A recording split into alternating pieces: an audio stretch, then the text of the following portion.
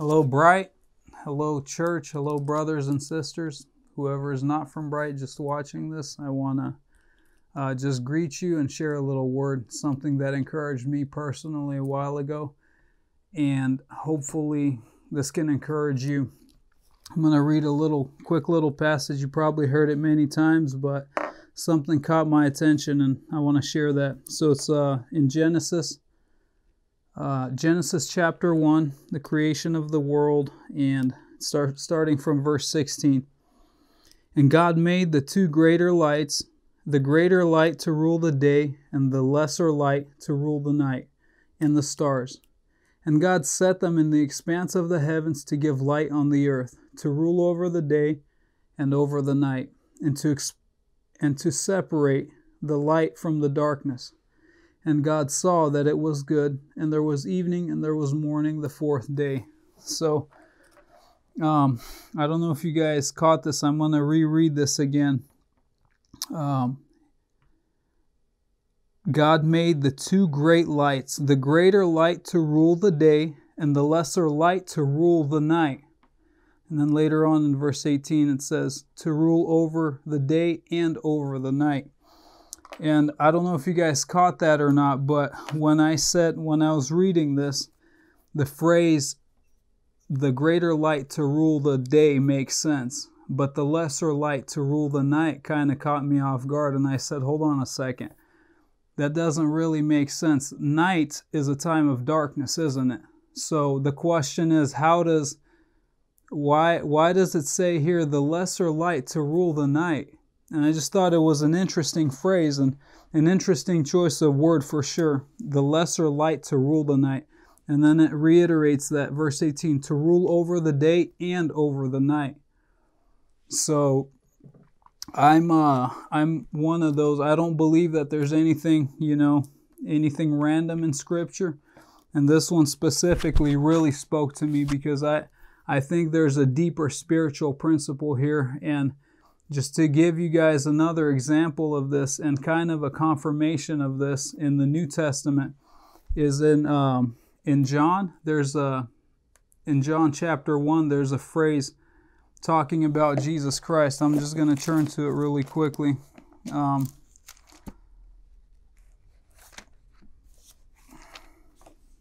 yeah, John chapter 1, verse 5. The light shines in the darkness, and the darkness has not overcome it.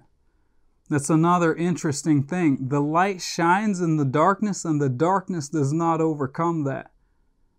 You know, that's that's so awesome for me to to realize that light rules even over the darkness. That's a huge spiritual thing. The light shines in the darkness and the darkness does not overcome it. So I think uh, many of us is uh, many of us encounter different kinds of darkness um, in uh, you know perhaps in our thoughts in our isolation or just with everything happening right now i think the enemy wants us to go to this to see everything that's happening around us and to be overwhelmed by it to be overcome by it right? He wants us to be crushed by that. But this very very simple principle the light shines in the darkness and the darkness does not overcome it the lesser light to rule the night. Think about that every time you look at the moon. The, the moon, the light that rules the night. And that's, a, that's an awesome thing that God left for us in Scripture. And be encouraged with that, that our Lord Jesus Christ is the one who's in charge of everything. He's the one sovereign. And it's an interesting thing. Darkness exists. We, we are surrounded by darkness, but light rules the darkness the lesser light rules the night. And um, the I, I think the perfect example of this in the life of Jesus Christ was when Jesus is about to go to the cross and uh, he's having the Last Supper, and then he he has communion with his disciples, and there's a there's a phrase in there where when Judas leaves, there's one little sentence in there. It says, "And it was night." And that's another thing that caught my attention. And I thought, wow, and it was night. Again, an interesting note, maybe, maybe I'm stretching it, but to think of it, humanity is about to kill their God and crucify him. They're about to hang him on a tree. This is the darkest place. This is the darkest point of our humanity. And, and I and I started thinking about it. Wow, Jesus Christ is about to be beaten, mocked, ridiculed, and unjustly um, prosecuted and hung on a tree, nailed and humanity is going to murder God. This was the darkest place in history. And then we see how Jesus goes through that experience. It's not something that catches him off guard. He walks into that knowingly. He walks into the garden knowingly. When the soldiers come at him, they're looking for Jesus of Nazareth. He says, It is I, right? He's, he's in charge. He's ruling the situation. When he's standing before Pilate, um, and and Pilate feels like he's he's the one with the badge, he's the one with the title here, but Jesus Christ is fully in control of the situation. It throws Pilate off guard. He's like, "Don't you understand? I have the power here.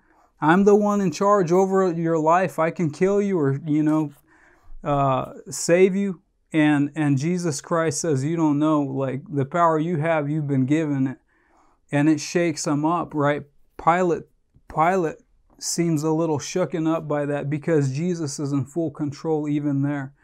And all the way through, all the way through the cross, Jesus Christ is in full control and he's in charge of that, even though this was the darkest time. So um, I, I think this is such a beautiful principle, and I, I've been encouraged by this so many times, and I hope you guys can be encouraged with this that whatever the darkness you're facing, there's there's a light you know, there's a light of Christ. Christ says, I am the light of the world. Whoever comes to me will not walk in darkness. So Jesus is that light of the world that shines in the darkness. So be encouraged with that. Cling to Christ and let's uh, let's keep going. Amen.